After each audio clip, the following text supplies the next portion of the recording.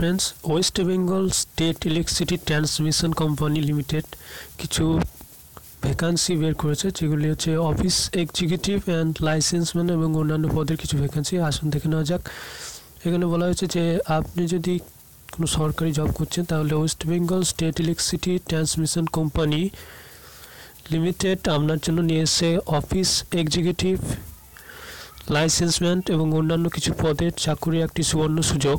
যদি আপনি আগ্রহী হন, তাহলে West Bengal State Electricity Transmission Company লিমিটেডের নিয়োগ সংক্রান্ত নিচের বিস্তারিত তথ্যটি সহকারে পড়ুন। এখানে আপনি অফিসিয়াল ওয়েবসাইটে গিয়ে অবশ্যই একবার চেক করে নেবেন, কারণ অফিসিয়াল ওয়েবসাইটের ইনফরমেশনগুলি সব থেকে বেস্ট এবং সঠিক। এখানে তাহলেও দেখে নেওয়া যাক কী কী বলা হয়েছে।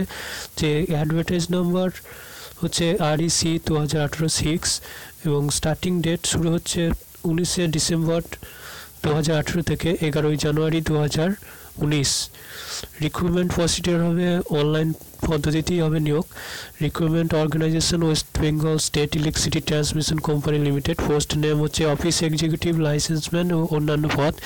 জব পোস্টিং হবে ওয়েস্ট বেঙ্গলের মধ্যেই। ভ্যাকান্সি হচ্ছে স্পেশাল টেকনিক্যাল অ্যাসিস্ট্যান্টের পঁয়ত্রিশটি এক্সিকিউটিভ অ্যাসিস্ট্যান্ট সাঁত্রিশটি এবং অফিস এক্সিকিউটিভ একশোটি এবং লাইসেন্স মানে একশো পঞ্চাশটি। পোস্ট নেম হচ্ছে এডুকেশন এখানে পোস্ট নেমে আর এডুকেশনাল এডুকেশনাল কোয়ালিফিকেশানগুলি দেখে নেওয়া যাক।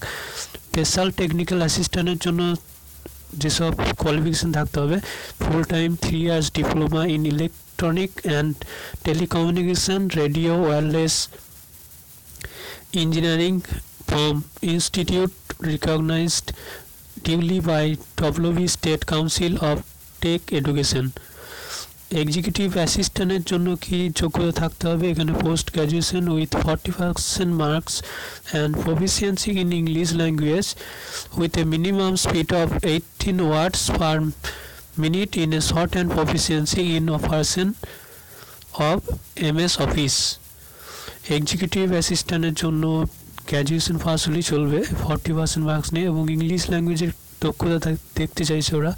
এবং আশিটা ওয়ার্ডের স্পিড থাকা চাই স্টাইপিং টেস্টে নেক্সট বলেছে office executive graduation in any discipline with fifteen marks in a grade from recognised university or graduation in in any discipline with minimum fifty percent marks in HS level three years full time bachelor degree in computer application or bachelor degree in business administration এই সমস্ত যোগ্যতা থাকলে তুমি office এক্সিকিউটিভের জন্য apply করতে পারবে।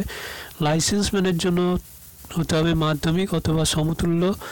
কিছু trade certificate under NC VT from any ITI under direction industrial training government of West Bengal in trade two years duration wireman or electrician এখানে এজ লিমিটের কথা কি বলা হয়েছে? Candidate age limit should be within eighteen to twenty seven years হতে হবে এবং প্রার্থীর বয়স সীমা সাধারণত আঠেরো থেকে সাতাশ বছর এবং অন্যান্য শ্রেণীদের জন্য হয়তো বয়সে ছাড় আছে, তো তোমরা অফিসিয়াল ওয়েবসাইটে নোটিফিকেশানটা একবার ডাউনলোড করে নেবে।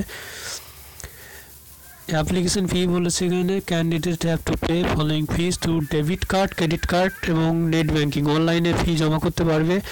ইউআর ওবিসি এবং ওবিসি বির জন্য দুশো পঞ্চাশ টাকা, সাধারণ এবং ওবিসিদের জন্য আড়াইশো টাকা পরীক্ষা ফি এবং এস সি এসসি এসটি পিডাব্লিউডির জন্য কোনো পরীক্ষা ফি লাগবে না। সিলেকশন প্রসিডিওর হচ্ছে এখানে রিটেন টেস্ট হবে প্রথমে, তারপর ইন্টারভিউ এবং কম্পিউটার এফিসিয়েন্সি টেস্টে পরীক্ষা হবে।